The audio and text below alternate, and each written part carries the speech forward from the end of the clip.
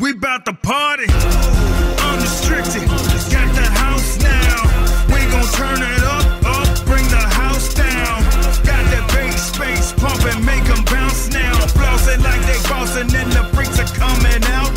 Welcome, everyone, to AEW Unrestricted, the official podcast of All Elite Wrestling. I am Aubrey Edwards with my best friend, Will Washington. I'm a referee. He works in creative, but once a week we get together and we talk about all of the things happening at AEW with awesome people that work at AEW or have been around AEW. And speaking of awesome things happening at AEW, we're like nearing the end of our road to all in residency in Arlington, Texas, which has been, in my opinion, absolutely incredible. I have had a blast. I wasn't sure what to expect the first time I walked into the venue. Same. But, you know, I, have been at every show there and uh, I will be at every show. It's such a different environment doing the residency, but it, it's it's very cool. Uh, one thing I want to give a shout out to is the uh, Arlington, Texas catering, which has been people love the catering. That's the one thing I keep hearing is like, man, this catering's real good. There were churros the first day, and like from then on, I've been I've been sold. Right. But anyway, I just it's such a just chill environment. Everybody's having a good time. Yeah, I, I couldn't be happier with how these shows are turning out. We've had some really cool uh, signature moments. You had to be the first female referee uh, on a Ring of Honor pay per view, and Correct. that again in itself is just such a cool moment, especially for that pay per view. That was such a great show, Right? And from top to bottom, and the fact that people keep walking away from these shows. I talk to fans after the shows, and they are just over the moon. They've got that energy high, and they just want to come back to the next ones. We've had multiple sold out shows. I have zero complaints about this experience. It's been so good. It's been so great and just seeing all of the fun, like emotional moments that have happened, like having the Von Erichs and Dustin Rhodes win Yeah. ROH six man championships. We literally have someone from the Rhodes family and people from the Von Erichs family holding gold in wrestling together. And that's just really, really special, especially in Texas. Yes. I haven't been a wrestling fan my whole life, but even I understand how special that is. And like Dustin and I are really close. Like he he really helped us kind of come together as a women's locker room during the pandemic. So being a part of that match was super important to me. And it was just being able to like literally hand him his first title since he started working at AEW. and it fits so naturally. Like just It seeing really him, does. yeah, seeing him with the belt. It's like I can't believe he hasn't had a belt in so long, Right? Um, in his entire AEW tenure. But at the moment he was holding it, I thought, yes, this is where it belongs. It's also just been really good to have this Texas crowd. Like I think the last time we did residency was AEW Dark in Orlando. And yes, Orlando wrestling fans are great, but Texas fans will give most fans a run for their money because they are so into this. Like they want to be there. They're engaged the whole time. They're very energetic. We did the one day of tapings where we did two sessions. It was like six hours of wrestling and they were still loud as hell by the end of the day. It was insane. Yeah. Uh, I, I think the moment that I am still just over the moon about was a segment I produced on Collision, in which it was a backstage with a conglomeration. I, I do most of the conglomeration segments, but in this one, Mark had the idea to bring in Baby Jay.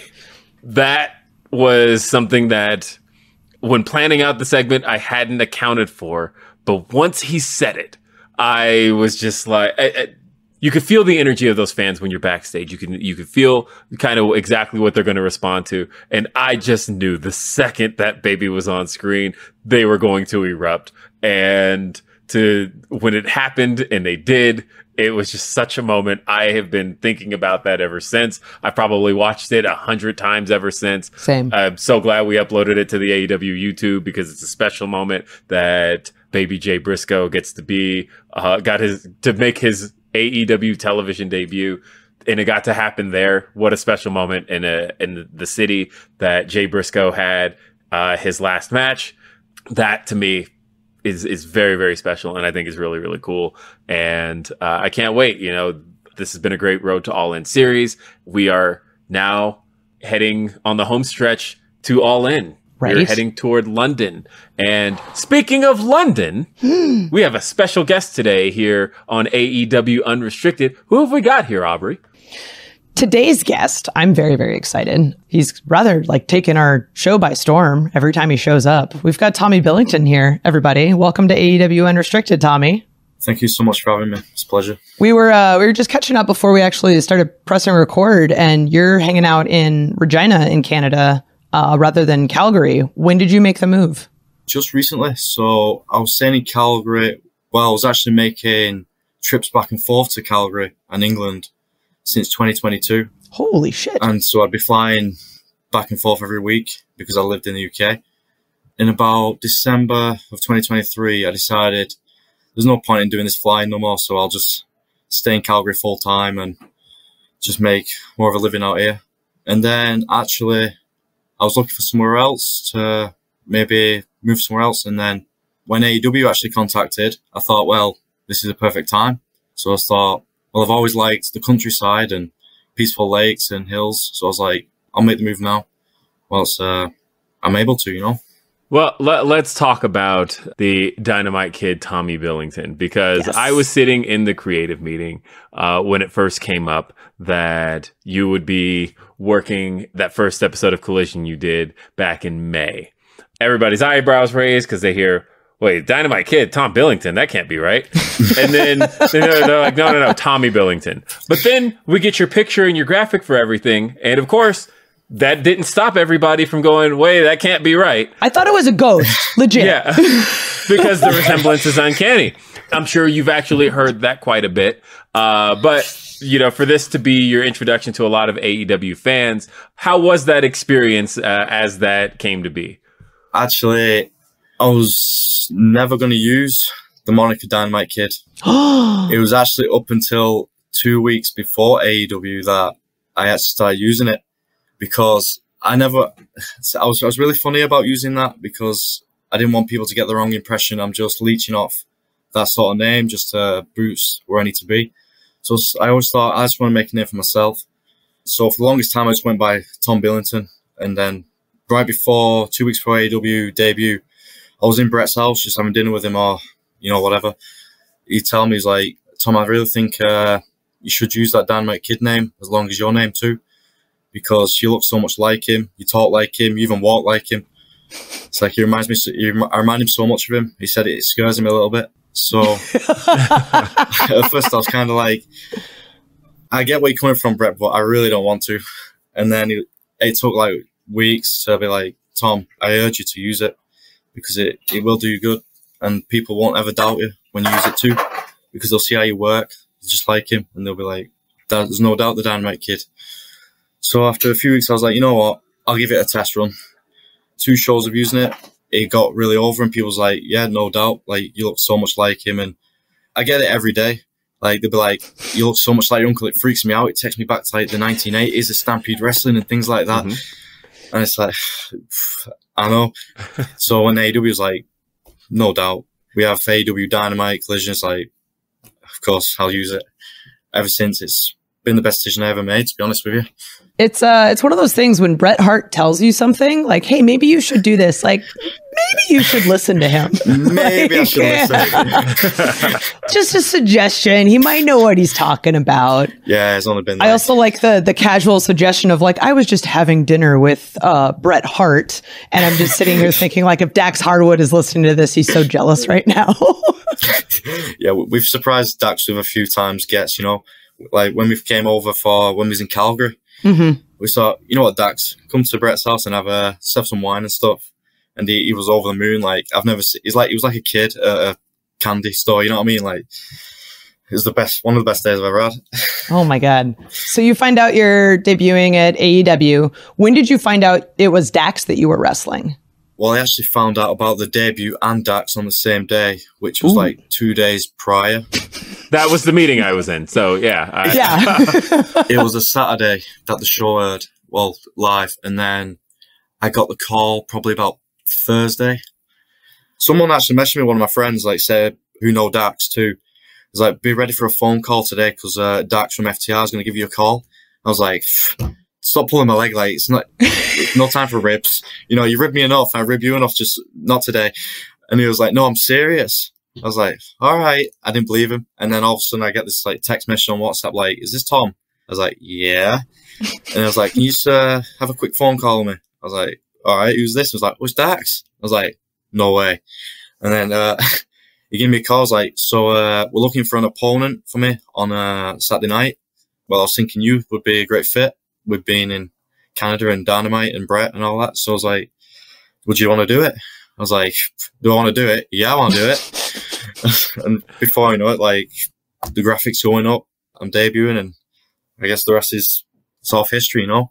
I just couldn't believe it at the time. Yeah, I, I, like I said, I remember how quickly it happened because it, was literally we had the meeting on a Tuesday or on a Wednesday, and then next thing we know, uh, just everything is rolling very quickly, and you're on the graphic. And again, the internet is just like a little bit mind blown at the idea that uh, we're seeing Dynamite Kid on the show, and it definitely looks like Dynamite Kid. I feel like when it came to that actual match happening, um, you definitely lived up to the moniker. I think fans walked away going, "Oh, this is the second coming of the Dynamite Kid. I want to see more." And I think anybody who had any questions about it had those answered. You know, talk to us a little bit about what it was like being in the ring with Dax and being in that ring in Calgary and and feeling the energy of those fans. Obviously, I, I couldn't have chosen a better first opponent to debut with, with the history with Dax being pretty much Bret's number one fan, Bret being sort of like my number one mentor all my life. You know, I've known him since I've been around, really. No, it all, it's all connected so well, and I couldn't ask for a better just time, opponent, the venue, you know, Canada. I will admit, yeah, the nerves were kicking in because obviously Dynamite Kid, Tom Billington and stuff like that was like, it's a lot of big boots to fill. I'm glad it was so short notice because I, I wouldn't have liked a month to sit on it so I'm glad I, I got in there like as soon as possible to show them what I've known all along, you know, and just the the audience's energy. Like I've never felt energy like it. You know, AEW is just on another level right now.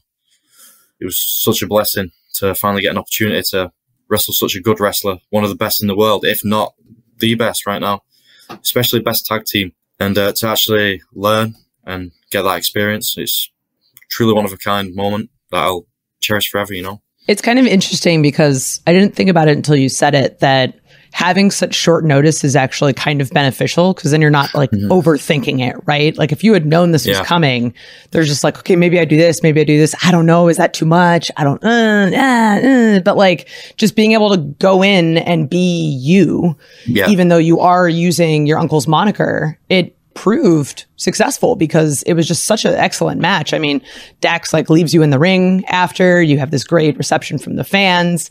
Eventually you come back and wrestle again and we'll talk more about that. But my favorite thing is I think you posted a picture of you and Bret studying the match afterwards. Yes, we did. Which away. is so great. yeah.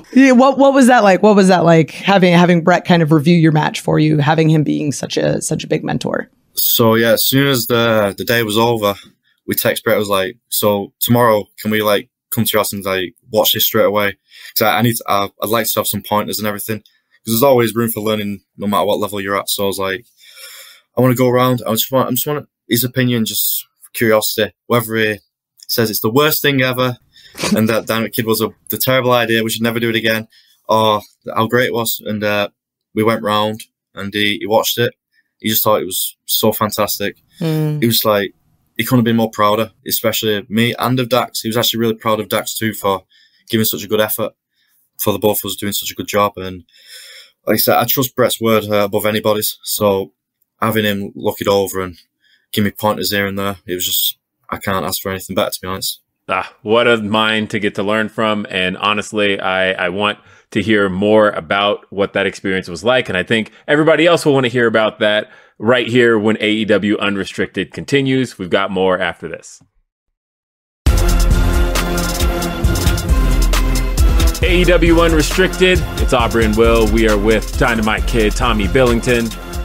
Tommy, I actually wanted to ask you a little bit um, about what your wrestling fandom was like coming up and, and what you took in as far as you know obviously you know you have the family connection but as far as your affection for professional wrestling what was that like for you coming up yeah it's pretty funny because i feel like it's always been there no matter what it's like even before I realized what professional wrestling was, it was always ingrained in my mind anyway. At like three years old, four years old, we'd have like this big giant red crash mat with two makeshift turnbuckles, like that was really tall. And me and my brother, like he was about two years old, I was about four because two years difference. We just honestly just wrestle all the time, practice all these frog splashes off the top and everything like that. So snap suplexes. So even before I even watched anything on TV, was doing like some crazy stuff to be honest for two and four year olds to be jumping off like fences and stuff like even now I'm thinking about like why did I do that or why did my parents even allow me to do that but uh, yeah it's like it's always been in my life my dad would always being Dynamite's brother always watched all the 80s stuff because he was growing up in that era so he'd watch like Saturday Night's main event all the WWF house shows or whatever it be pay-per-view SummerSlam Survivor Series he'd watch Stampede Wrestling. So whilst he's watching all that, I'm sat in the corner, probably taking it all in. At the time, I was actually studying moves to like what to use on the outside in the crash mat. So I was like, I'm going to do that to my brother later. Some like spine buster or something, whatever it was. I was like, so I'd always just sort of take it in no matter what. Like I always had an open mind to learning it. But growing up, I had no doubt in my mind I was always a wrestler. There was no job ever that was going to take that away from me. Like I was never going to be anything like a normal job or whatever. I was never, never crossed my mind once.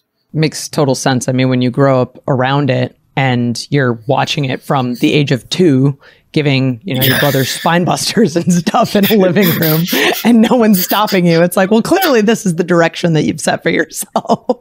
yeah. So when did you start training, and how how did that whole process work? So at first, I got I got to about nine, ten years old, I was telling my dad and things like that, like, can you, can I be a professional wrestler? Like, can I go train in a ring and with an actual coach and stuff? And we actually tried to reach out to Marty Jones at the time, an old school world sport wrestler. And he said, you're too young right now. So come back when you're 16 and that's more appropriate. Good. It's a very responsible adult thing to do. Which I'm thankful for, really. Which we don't hear that often. So, no, that's Correct. actually great. Good on him. So in the meantime, I said the closest thing to do was become an amateur wrestler. So from 10 till about 15, I did actual grappling wrestling and catch as catch can. And they got some medals going in there and learning that. Oh, just got some medals. Just got some medals. No yeah, big deal. but, so it was uh, all the way through school. I'd be like, people would ask me like, what am I doing when I leave? So this is about 15, 16. I was like, well, I'm actually going to go and become a professional wrestler. And at the time, I can see where they was coming from when they was laughing at me and be like, come on, Tom, what are the actual chances of you becoming a wrestler? He was like, have a plan B at least and uh, just get a, get a proper job and just be normal or whatever. And then I was like, mm, no, I'm not doing that. It's like, I don't want to listen to you. You're my friends and everything, but I'm not listening to that. Like, I know, I know what path I'm meant to be on. So the last week of school, I was done with school. Like I hated it. I'd even set my exams, like the final exams. I just left and started wrestling school. But the two weeks before wrestling school, I was going to my dad every day. So uh, it's going to the end of my school year. I'm leaving school for good now. Uh, can I go do that wrestling? He's like, yeah, yeah, I'll take you next week. And then next week comes, we didn't go. So the week comes after, I'm like, can we go? He's like, yeah, yeah, I'll take you next week. We don't go that week either. I come back the third week. I'm like, Dad, can we go to wrestling school? I'm serious about this. And he's like, Are you really wanting to be a wrestler? I was like, Yeah, I want it more than anything. And he was like, All right, I'll take you then. This Saturday, I'll take you. So what he had in his mind that he didn't want me to end up the same way as like Dynamite did and stuff because he, he knew like how the business is and it's pretty hard on people. So he, he didn't want that for me at the time he's like, I'll take you then. And he ended up taking me a Saturday. And that's when we did meet Marty Jones and he did teach me. And uh, the first time I went, he was just teaching me the basics, the rolls, the bumps and stuff like that, what you do in wrestling school. Apparently I was doing it so good that Marty Jones turned around to my dad and was like, there's no way it's his first time in a wrestling ring. My dad was like, I'm telling you, it is. Wow. He's, he's only just left school. So after my dad saw that, he was like, he, he's got it. Like, he knows what he's doing. Like, he's got like the gene that will that's not so easy to come by. Because my dad did try professional wrestling for a bit, and uh, yeah, it just wasn't for him. Because he was training with Dynamite, and Dynamite was pretty tough in those days. Like towards the end of his career, like he just dropped like back suplex my dad on his head and things like that. Just Oh, no. whatever. That's that. That was my dad's training, so my dad was kind of like, yeah, not not for me. So he kind of thought that's what they do to me. Like I go in with the wrong attitude, being like, oh, this is gonna be easy, and then get dropped on my head, and then be like, cry about it or whatever. But when he seen how well I was doing, he was like, I'll let you do this now. From there on, I've just history really. Just train every week and How long was it after that that you eventually got to have your first match? So I started in June 10th, 2017, and my first match was December 23rd, 2017. So about six, seven months. So not too long at all, to be honest. Yeah, no, that's pretty quick. You literally started training like a month before I did. That's crazy. Really? Oh yeah, July 2017. That's wild. What a great summer for both of us. Jeez. Absolutely. So you you'd said your your brother's like two years older than you, right? Or two years younger? Two years younger. Two years younger. So when did he start training with you? So he came the first day with me, but he was just spectating it because he was actually going to get signed by a soccer team at the time, uh, Manchester City or something like that, like a full time contract. Damn. I know. So he had his mindset on that. So he came watching me. He was like, "Wow, this is this looks really difficult, but it looks really good." And then I went the week after on my own. We did another session, and- and my my brother saw like the Facebook Live training session. He was like, "I really want to give this a go." And then he was like, "Well, you come down next week, and you know, I'd like to have a, a training buddy of sorts, you know." So he came with me, and you know, he was just as much of a natural to it. Like he could do everything. So he could even he could do the flips and everything day one. Oh my god. I was like, well, no brainer, do that. And he was like, yeah, I'll do it. Like it's it's so much fun. It's you can like show off his athletic ability and things like that. And he loved it as much as me. So it was about two weeks after that, after my initial session. Well, so the two of you, of course, got to wrestle as a tag team. Mhm. What was it like, kind of building the dynamic between you two, and and what was that like, and uh, how how do you feel that dynamic grew over time over those last few years? Oh yeah, well, me and Mark have always been close. You know, when the wrestling came, I was like, well, I'd, I'd like a tag team partner. And then we thought, well, if you start, then maybe we can be a tag team. And because I, I initially just planned to be a solo all the time, and then when he came into the picture, I was like, it made me rethink. I was like, you know what? He's so good at it, and he's just so young too, and so into it like me that. Well, we should do a tag team because if we can combine our stuff together, we I think we do pretty well yeah, before you know, it was like from there on, like first show we tag teamed and was like, well, yeah, we'll do this from now on. Like we're forever a tag team. Like, and it made us like really close too. We was close before, but traveling the road together and doing shows together as well, it made us like unbreakable. Yeah, for the longest time we just tag teaming. Like even just up until recently, before this AEW debut came up, we was non-stop tag teaming and things like that. And we just, yeah, just unbreakable. That's one of the best parts about being on the indies, I think, is just the traveling with other people and the relationships you build when you're so much closer Yeah. with everyone and you're trapped in this car for a long amount of time and you're just talking about like, okay, well, what are we going to do in our match tonight? What are we going to do this? Or talking about everything that you've seen on TV. It's just, mm-hmm. it's one of the great things about wrestling that I don't think other forms of performance really get to experience. And it's just really great that it's like, it's also something that you got to share with your brother. That's so awesome. Mm-hmm. There's so much more to talk about with Tommy here on AEW Unrestricted. Coming up, stay tuned. AEW Unrestricted, Aubrey and Will talking to the new Dynamite Kid, the current Dynamite Kid, Tommy Billington. You've seen him on Dynamite, you've seen him on Collision.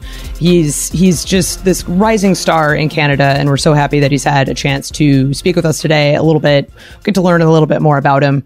Uh, in the first segment, we actually talked about your match with Dax a little bit, and I want to talk about your match with Takeshita a couple months later on Collision.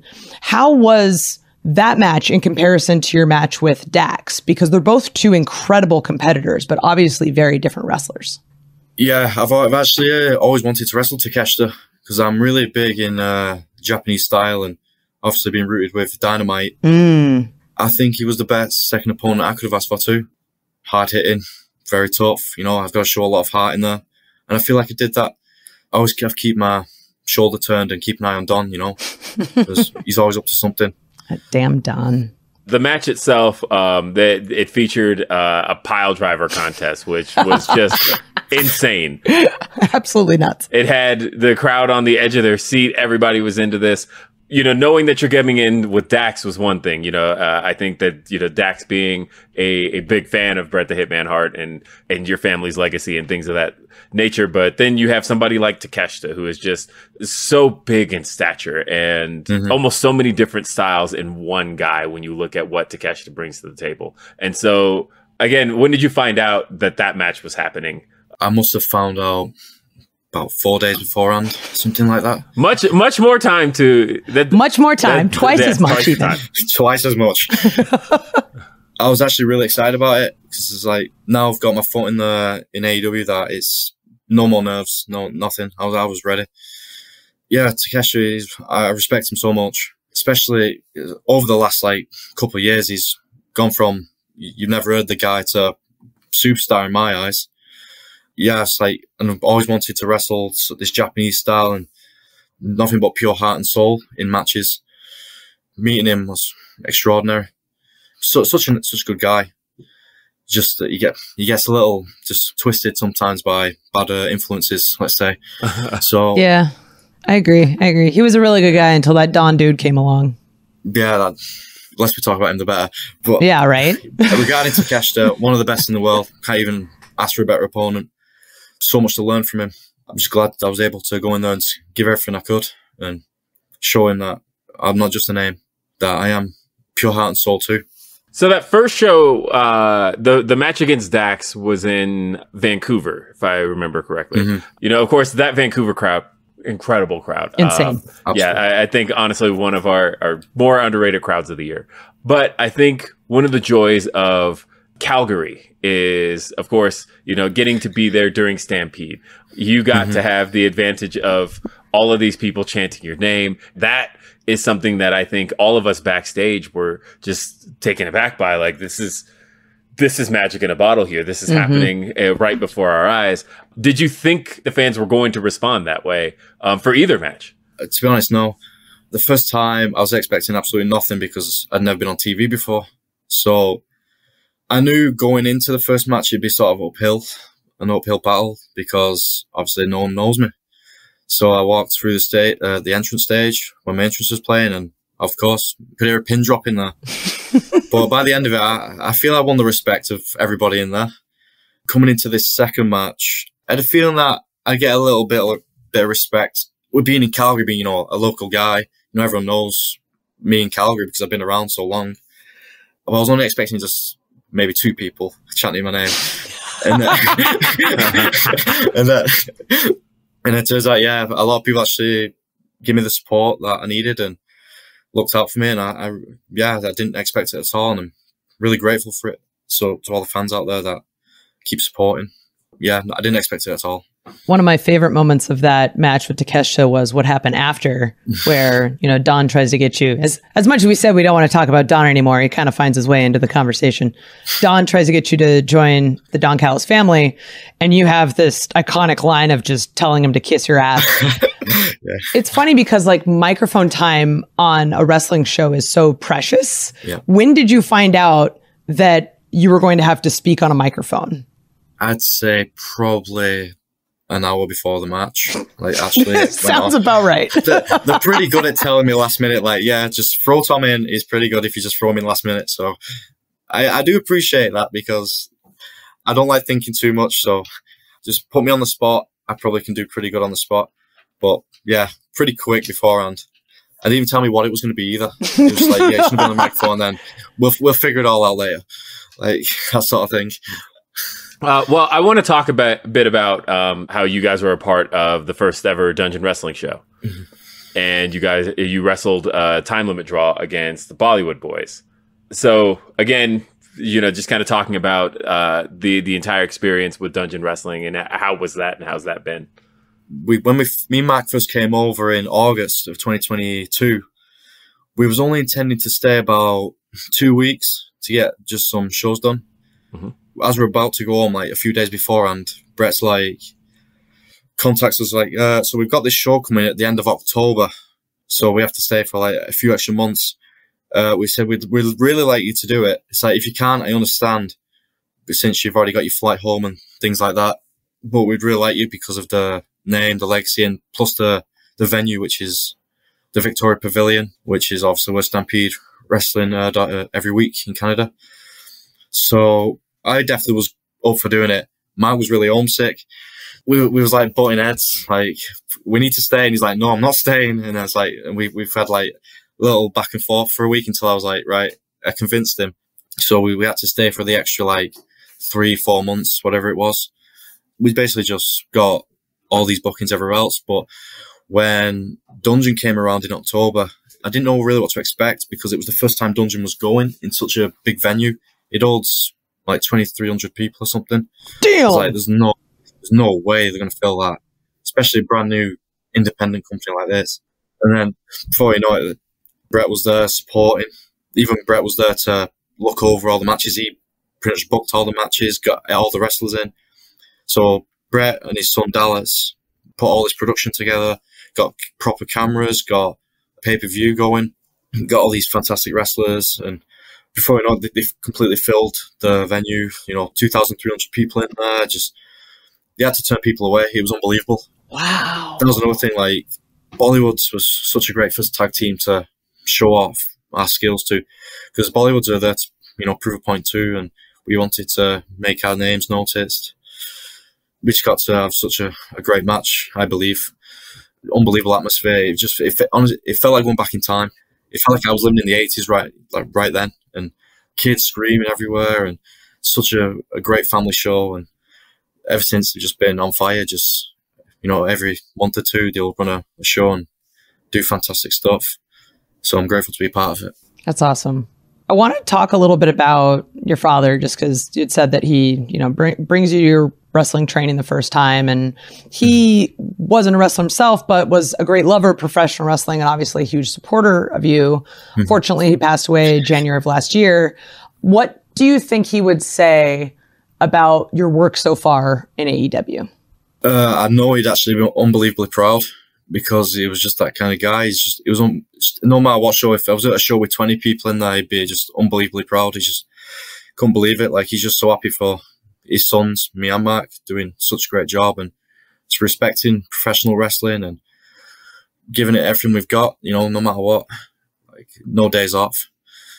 Yeah, I just know right now he'd be so proud and he, would probably have a few tears in his eyes if, if I was a guessing man because he, he just, he'd be like, finally, like the, the time has come. Mm. You know, hmm. what he's been fighting along with us so long because he supported us through it all too. When we first started, there was we don't obviously indie shows. We don't have cameras and stuff like that. We get privileged so much with AEW. He'd literally drive with us in the car to the venue, and he'd, he'd literally pull his phone up like that and record it. And we made our own YouTube channel and started posting every single match we ever done on there. Ooh. So he's pretty good, and he was pretty good at making graphics too. So he, would do things like that for us, and he, he, made sure we was on the right path. I think uh, if he was here now and could see that it's all paid off, he wouldn't believe it. He'd be so over the moon. Yeah, I, I feel like he I mean, just watching you now, I think you'd be incredibly proud um, mm-hmm. because we're all incredibly proud of you. Yes. And the thing is. We're still in the beginning stages. There's still so much more to come for Tommy Billington. Absolutely. And this story still has a lot more to go. Mm-hmm. We hope to catch up with you when that time comes. But Tommy, thanks for being here on AEW Unrestricted. You all can catch new episodes of AEW Unrestricted every Thursday on your favorite podcast platforms. We've got audio episodes available Thursdays. We've got video episodes available on our YouTube channel every Monday. AEW Dynamite airs every Wednesday on TBS. We've got AEW Rampage every Friday on TNT, AEW Collision every Saturday on TNT, and of course, Ring of Honor available on Honor Club. Watch ROH.com every Thursday. Tommy, thanks for being here on AEW Unrestricted. I'm Will Washington. She's Aubrey Edwards. See you next time. Peace. Bye, everybody. Come on, throw your hands up. Let me see you. Unrestricted. Got the house now. We gon' turn it pump and make them bounce now. Flossing like they bouncing and the freaks are coming out now.